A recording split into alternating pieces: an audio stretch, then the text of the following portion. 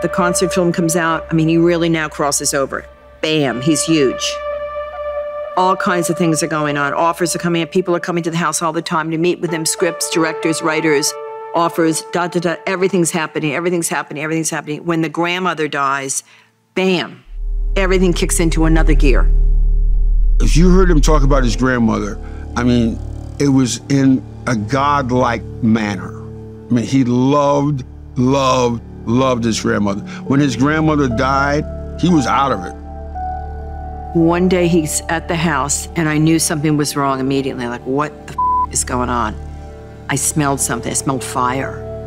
I go back into the bedroom and he's standing there and the mattress is on fire. He was freebasing already. He'd, that had started. And fire was, was there. I mean, this was a precursor to what was going to happen.